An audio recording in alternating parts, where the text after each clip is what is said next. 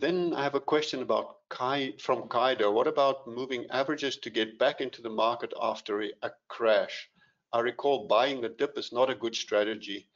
There was an uh, there was an article that I I think even even this month there's an article coming in. Um, there's like a little reading section in the Quant Value newsletter, and it talks about buying the dip is not a good strategy. But I think he tested buying the dip if you only buy when the market dips. For the newsletter, we use um, a 200-day moving average that we look at once a month on the main markets, on the S&P 500, on the Stoxx 600 for Europe, on the Japanese market.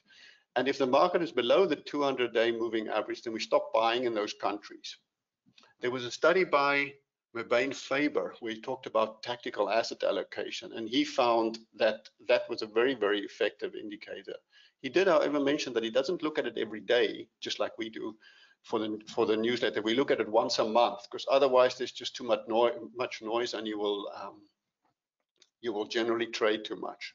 So for the newsletter, we don't buy, we don't recommend new companies if the market is below the 200-day moving average because the most volatility is there as well. That's what Mebane and Faber, found as well.